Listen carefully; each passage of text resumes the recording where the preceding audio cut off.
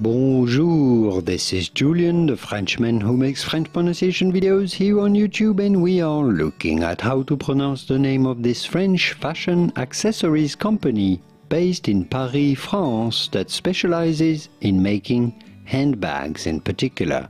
How do you go about pronouncing this name? In French, in France, we would say Hervé. Note that the H is silent in French, Hervé Chapelier. Hervé Chapelier is how we would say it, but it'd be fine in English to say Hervé Chapelier, Hervé Chapelier, or in French again, Hervé Chapelier. Here are more videos on how to pronounce French luxury brand companies and names whose pronunciations aren't really quite very obvious unless you are a French speaker. See you there to learn more. Au revoir.